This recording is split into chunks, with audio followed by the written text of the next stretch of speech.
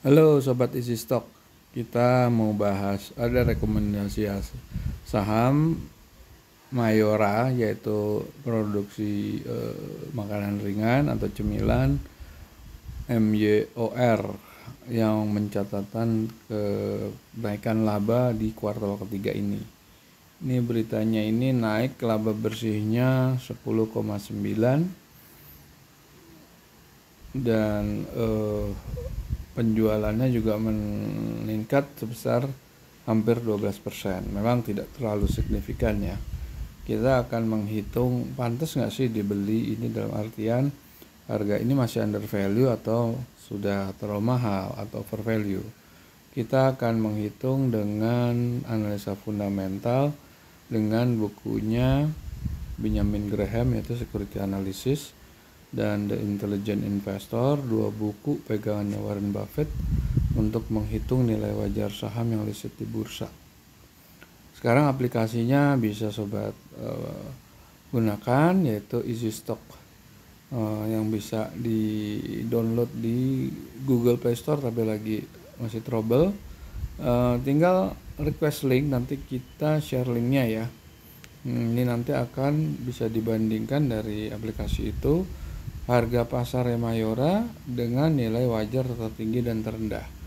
Untuk memudahkan atau memperdalam pelajarannya Benjamin Graham ada dua buku e-book guru-gurunya Warren Buffett yaitu Benjamin Graham yang diikuti 85% ajarannya dan Philip Fisher bukunya Common Stock and Uncommon Profit dengan yang sisanya 15% yang diikuti oleh uh, Warren Buffett.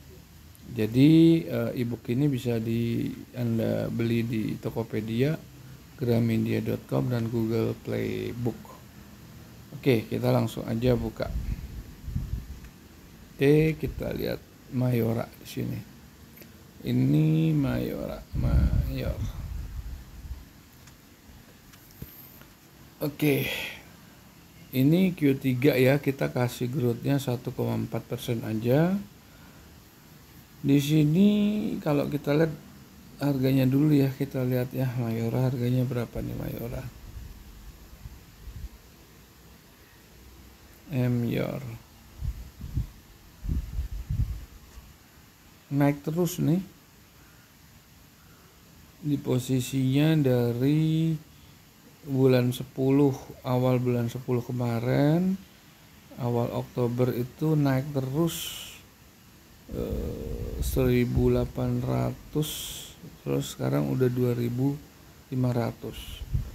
sedangkan valuasinya itu cuma 1400 nah kita lihat di sini.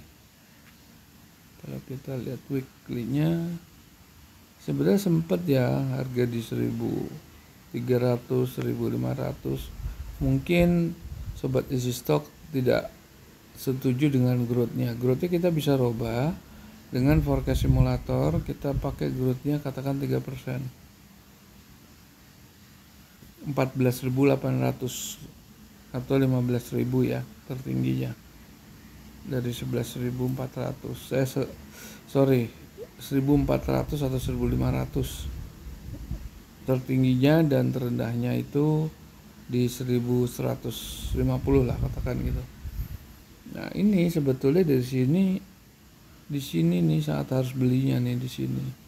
Meskipun udah uh, nilai tertingginya ya sebetulnya nih saham ini udah terlalu mahal. Kita lihat financial ratio-nya. Return on equity-nya ini kan Q3 ya. Sebetulnya masih bagus ya masih uh, di atas benchmark sedikit lah. Profit marginnya kecil 5% debt equity bagus dan booking capitalnya uh, bagus juga. Uh, ya memang kondisinya seperti ini ya. Uh, coba uh, terlalu mahal sebetulnya. Kita lihat sekarang kita mau lihat uh, kita mau lihat kita mau lihat kinerja tahun sebelumnya. kita lihat di sini kinerja tahun sebelumnya dengan growth yang 1,4 persen itu nilai wajarnya cuma 1400 dan rasio cukup stabil nih return on equity di atas standar marginnya tetap di level 4,5 5 persen kurang gitu ya.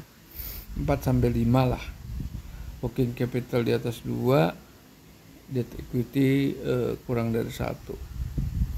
Tahun sebelumnya lagi tahun 2020 sama-sama juga sih sebetulnya di 2500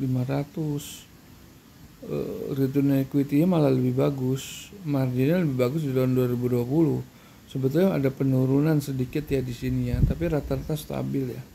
Jadi memang harga ini udah kemahalan sebetulnya harga ini udah kemahalan dan silakan uh, anda putuskan sendiri kalau tertarik untuk beli atau anda skip aja. Oke terima kasih. Kita jumpa lagi dalam kesempatan